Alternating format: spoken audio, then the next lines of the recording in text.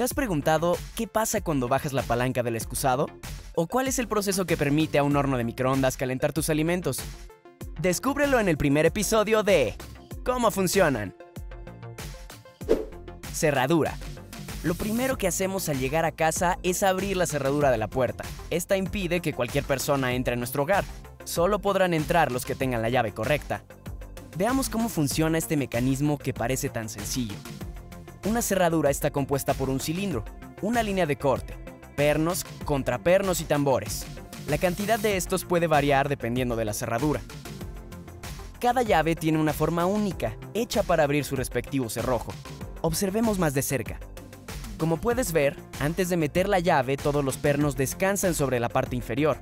¿Ya viste que cada uno se encuentra a distinta altura? La razón es bastante obvia. Estos coinciden con la forma de nuestra llave, algunos se elevan más y otros menos. Esto dependerá de la forma en los bordes.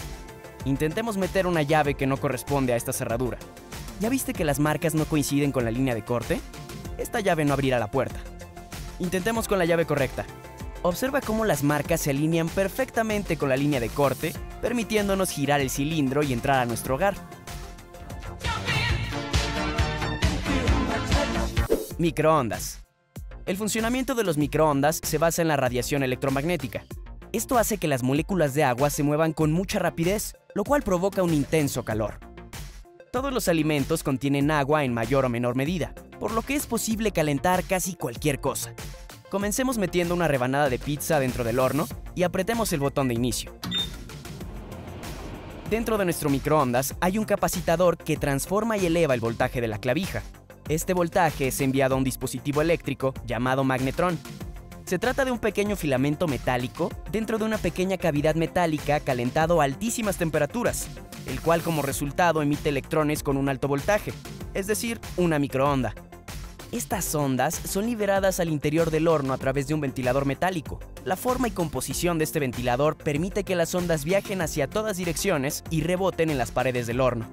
De hecho, no sé si te hayas percatado, pero todas las paredes al interior del microondas están cubiertas por metal. Este material refleja y contiene la radiación dentro del horno. Son máquinas muy eficientes y muy seguras. Excusado.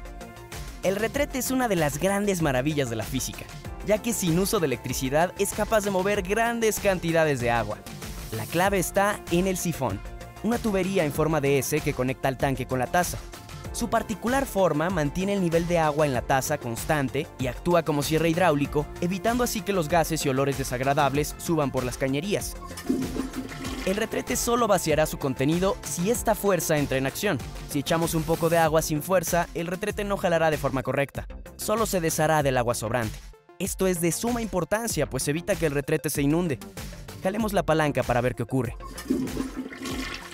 Al jalar, el cierre hermético de plástico libera el agua. 20% de esta recorre un canal alrededor de nuestro WC, limpiando todos los rincones de la taza. El resto viaja a través de una tubería de alta velocidad. La cantidad y velocidad del agua activan el sifón, empujando el agua y los desperdicios hacia la cañería.